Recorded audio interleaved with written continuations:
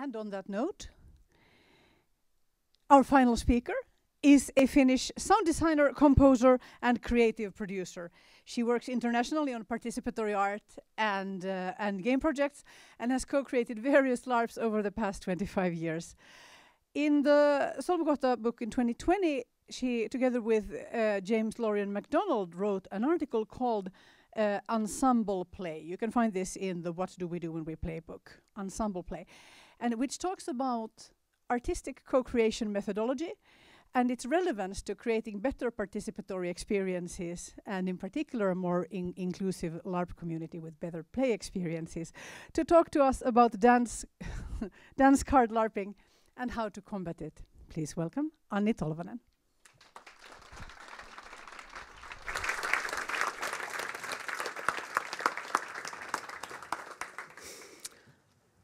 Hello, Nordic LARP Talks. Um, it's marvelous to be up here. It's also sort of really scary to be the last person on stage, especially because I like you can't literally see anyone from up here. Um, and it's scary mostly because all of your brains are already completely filled with the, all of the smart stuff that's been said, like talk, talk, talk, talk, talk. And for very selfish reasons, because I want your brains to have like a tiny extra like power to process what I am going to be talking about. I would like to invite you to do this participatory experience with me, which will take approximately 30 seconds. Are you game? Yes, you are game, because I'm telling you to be game. So uh, everybody stand up. There's a brilliant technique I learned from uh, LARP Writer Summer School. Credits to um, people who are behind that project. And now everybody put your hands like this. And then on count of three, we are all going to do our best angry T-Rex like LARP character. We were all LARPing angry T-Rexes for like approximately five, five seconds. Are you ready? Okay, so one, two, three, go.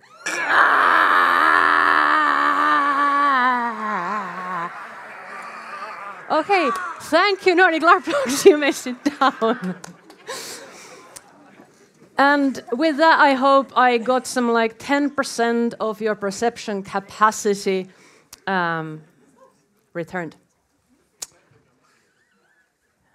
Um, Johannes, you may want to cut this bit out when this goes to YouTube. I can now pretend to start from the beginning.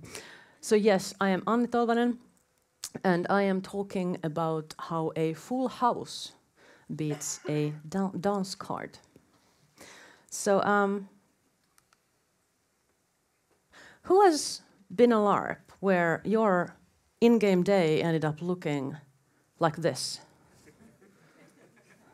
That's like for three quarters of the room. Who have been a LARP where some of your co-players they ended up looking like this. Who felt like the, that the co-player in question did not have actually time to play on the stuff that you hope to play with this co-player because they, they ended up looking like this. That's still at least at least like the half the room. Um, this is something that I have started calling dance card LARPing, which means that we go to the LARP, and for various reasons, which I'm going to cover a bit later in this talk, we feel like that in order to get the best possible experience out of that LARP, we want to make sure that we have stuff to do at all times. And then we make these hectic plans of like, okay, I want to be on this plot, and then I kind of make these plans with these friends groups and like whatnot and whatnot and whatnot. And then your day ends up looking like this. Do you even have a time to LARP in this LARP? I don't know. I would not have. Uh, what is a dance card? In case somebody does not know, dance card is a 19th century convention where in a like an upper class ball, fine ladies would have this kind of physical actual card hanging from their wrist and then uh, appropriate gentlemen would go and like go like could i book perhaps a quadrille with you and then that name would be written to the dance card and then before the ball even got going properly the lady would basically have their evening booked I am now standing on the axe. I maybe came forward in search for my audience. Um, so that is dance card. You probably could figure out the relevance to dance card LARPing in general. Uh, when we go to a LARP, there will be a random group of participants in that LARP.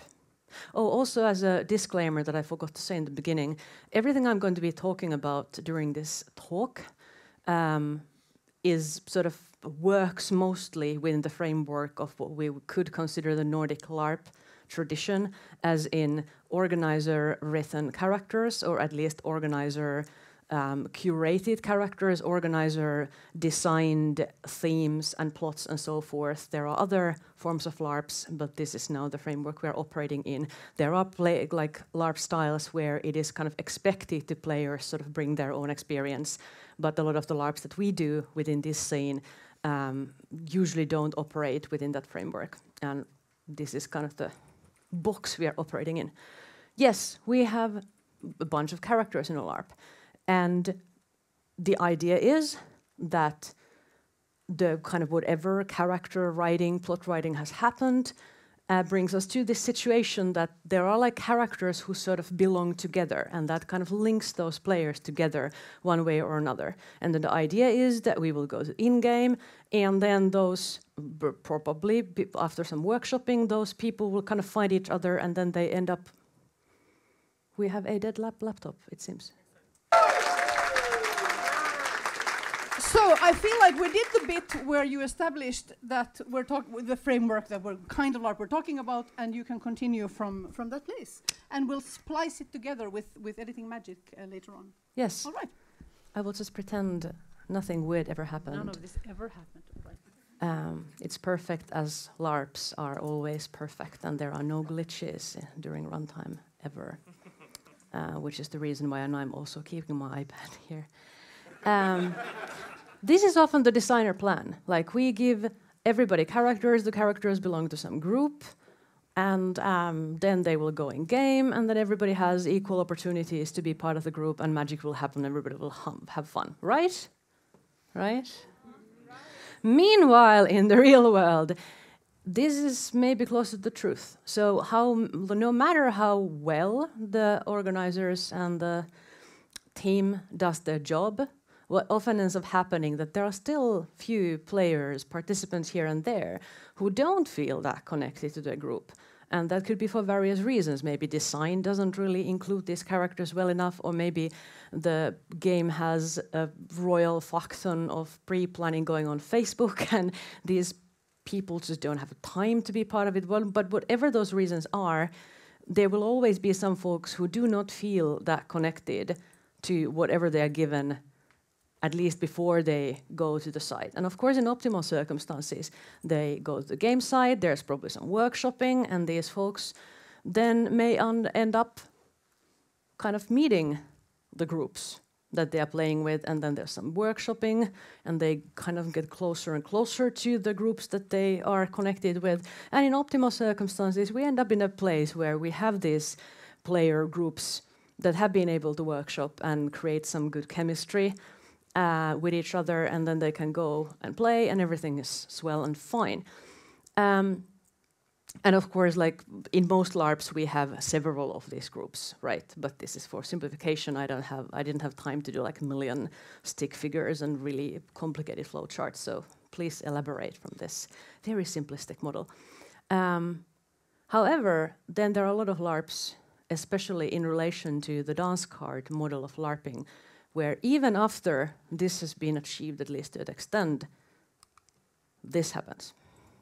So we have these workshop groups that have put whatever number of effort into creating okay what is the purpose of our group what we want to do in this larp and then there are some individual players in the game um, who just have come to the larp with a lot of preconceptions and personal plans of what kind of content they want to play. And in order to secure the opportunity to play that specific content, they maybe ignore a lot of the uh, casting that has happened and contact a lot of the players that they know who are also coming to the LARP, and then they start making plans that is sort of outside of what is the um, planned scope for the design.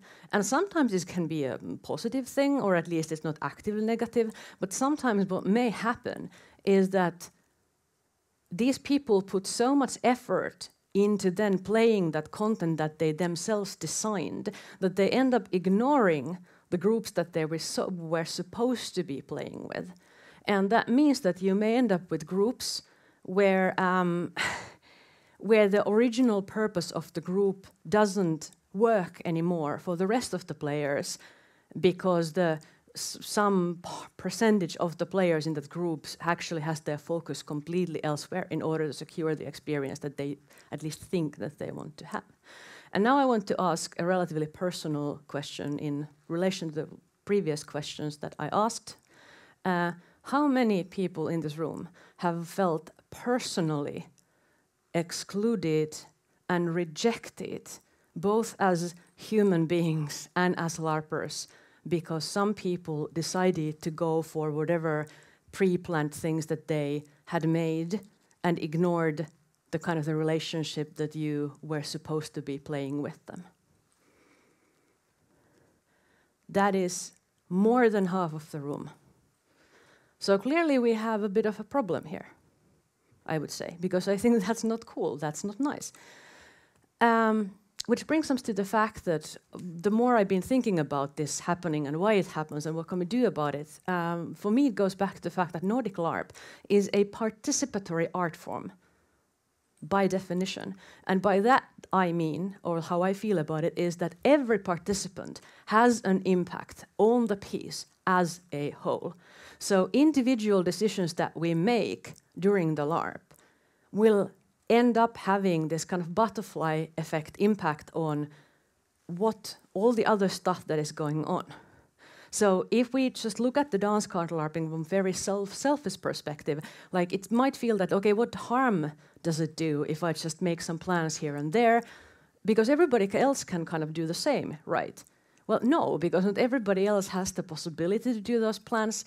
And also, if enough people end up doing that, all of the actually designed content in the LARP pretty much stops working. So the dance card LARPing, where you kind of made, make these detailed personal plans of how, what you want to play instead of staying open to the design as a whole. Um, basically, that means that if a lot of people are doing it, it doesn't work. It only works. Now I lost the strain of my thought. That's weird. I think you all got it. And I will just kind of gracefully move along. Point being, if one person does it, probably not a problem. If a lot of people does it, we don't have Nordic LARP anymore. We have something else. Um, yes, so if we end up in this situation, the coherence of the piece will start falling apart because the groups that were supposed to have a function don't have a function anymore. And this kind of behavior probably bites you in the arse in the long run in some way, which I may get, back to also. Now, some of you might be thinking in the back of your head, but wait, I paid like 500 euros to be in this massively fancy castle spaceship uh, zombie LARP.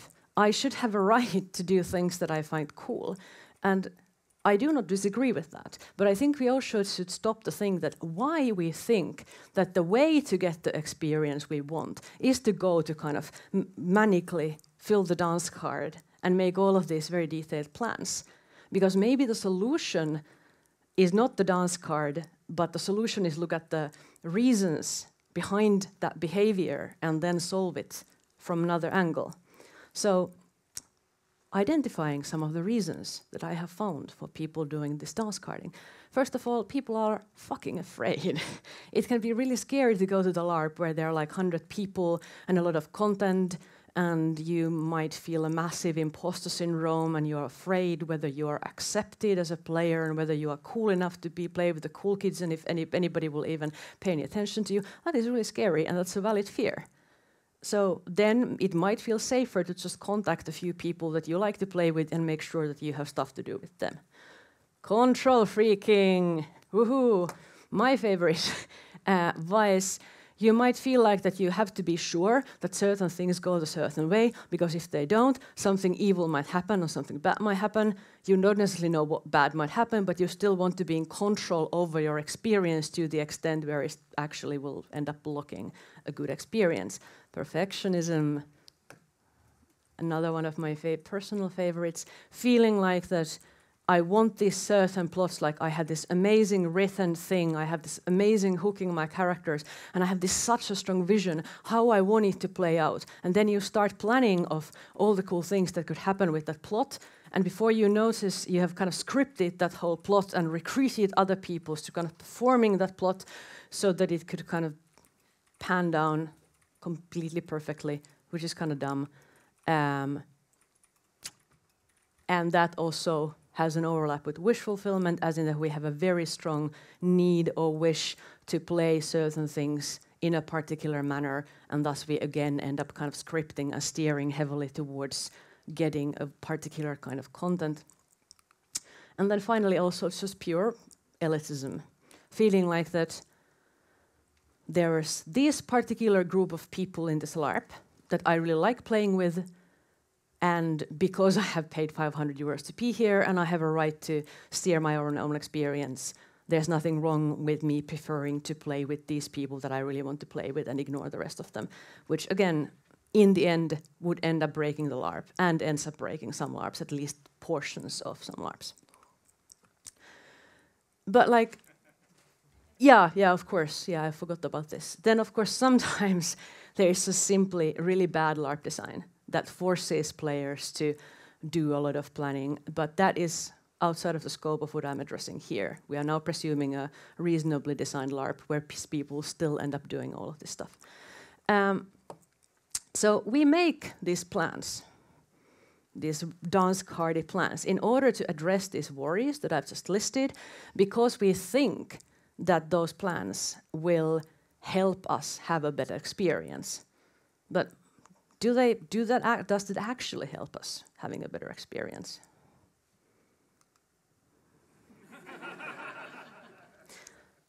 no, because dance card LARPing, the way I see it, uh, it trades perceived reliable play, something that we think will most likely work out, uh, for potentially much more interesting play. And the thing is that you cannot know who in the LARP can offer you really, really interesting game and like like in interesting interaction if you do not try it out. You don't know like which ensemble of players in the LARP can end up uh, creating something incredibly beautiful together if you do not give it a chance. The one thing that we know for a fact is that if you have an ensemble that you feel pretty lukewarm at the beginning of the LARP and then you are just like meh, this doesn't really work for me, I am not going to pay attention to this group or this plot at all, then it is guaranteed that that ensemble doesn't work out and it cannot provide you with good gameplay. So that is why making those plans, it can provide you with a reliably like lukewarm experience, but then also you are not going to be surprised that much. You are not going to find new cool things.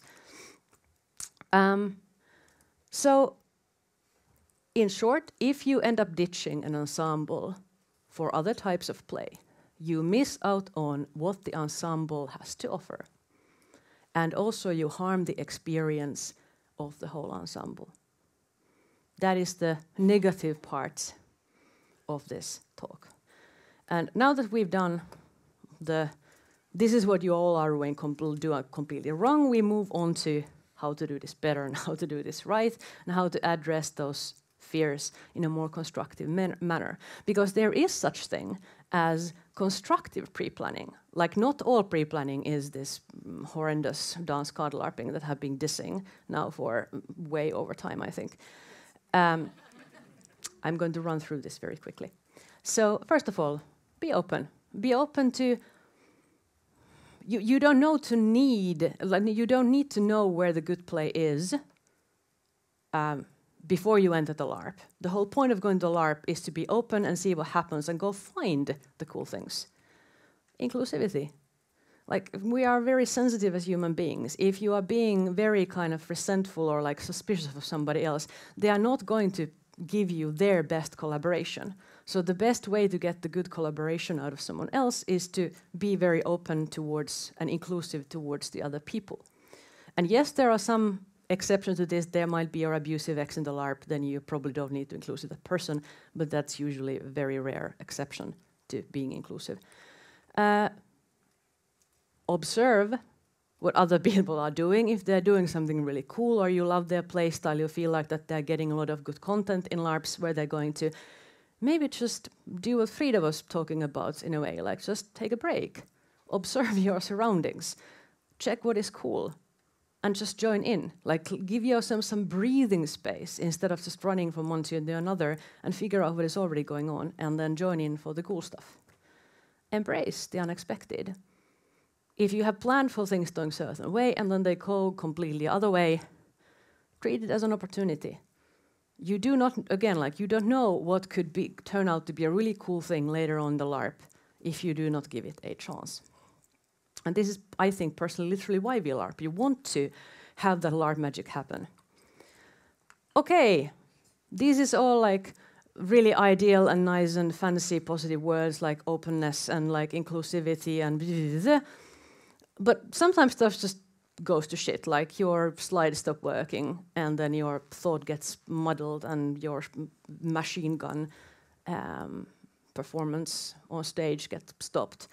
Um, what can you do to then instead of pre-planning if there would be sort of a larp emergency where your game stops working how can you prep for that uh, we were exchanging some ideas with Eleanor Saitta on the boat over here, which explains this, this boat terminology.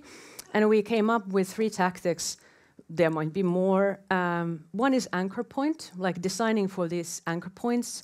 For example, the 3 a.m. for EverLARP had an anchor point by design, which was that if you uh, find yourself somehow like stuck or your game is not working out, go to the dance floor and start like just kind of dancing and interacting. That is your anchor point of getting back into the groove of the LARP um, you can have a lifeboat. And lifeboat is like something where you have agreed with, for example, some people that if I feel a certain way or if something else is not working out, I will kind of come to you.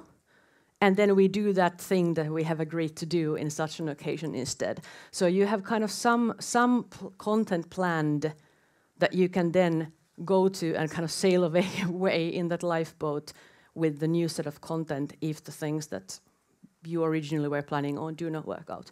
And then there's also escape hatches, which means that you, there's a possibility or you have a plan for how to kind of cut short play that's not working for you. The good escape hatch that I've used plenty of times is to have an implicit and explicit agreement with the kind of close player group that if what we are playing on at any point stops working for any of us, it's everybody's responsibility to ask the other people to go off game and recalibrate. As in that we are not going to just try to muddle through this. If anybody feels like it's not working out, like open the escape hatch, go have a negotiation, and then let's change where we are going to. So if you are interested uh, to learn more like Jok said in the beginning in my introduction, uh, you can read a bit more about these concepts of like ensemble forming from, uh, from my and James, James Lórien MacDonald's article. Um, it's available in the book and also in the Nordic LARP blog. Uh, meanwhile, uh, if you, in your next LARP, or if you're potentially in an international LARP conference, for example, you have a full house full of beautiful, charismatic, intelligent, creative LARPers. Uh, play with them. Now, let's go play.